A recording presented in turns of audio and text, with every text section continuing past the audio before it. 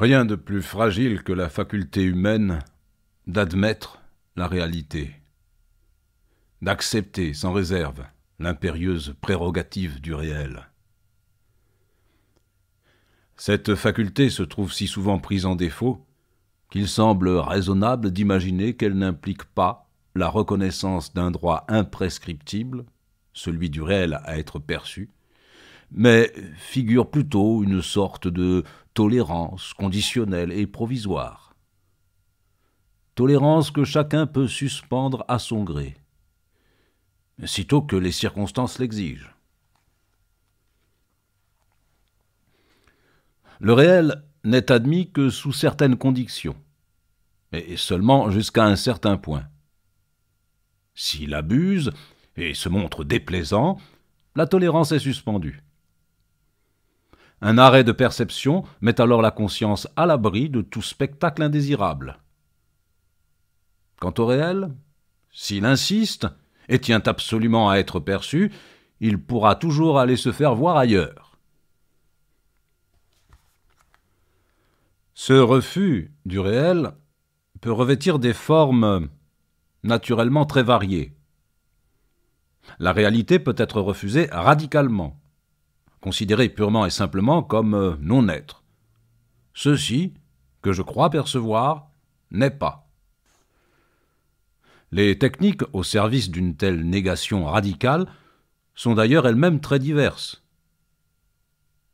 Je puis anéantir le réel en m'anéantissant moi-même.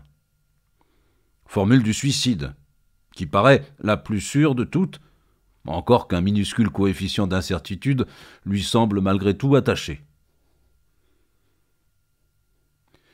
Je peux également supprimer le réel à moindre frais, m'accordant la vie sauve au prix d'un effondrement mental.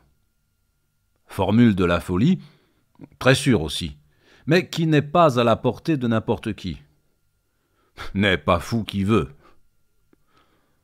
En échange de la perte de mon équilibre mental, j'obtiendrai une protection plus ou moins efficace à l'égard du réel. Je peux enfin, sans rien sacrifier de ma vie ni de ma lucidité, décider de ne pas voir un réel dont je reconnais par ailleurs l'existence. Attitude d'aveuglement volontaire, qui trouve des applications plus ordinaires dans l'usage immodéré de l'alcool ou de la drogue. Toutefois, ces formes radicales de refus du réel restent marginales et relativement exceptionnelles. L'attitude la plus commune face à la réalité déplaisante est assez différente. Si le réel me gêne, et si je désire m'en affranchir?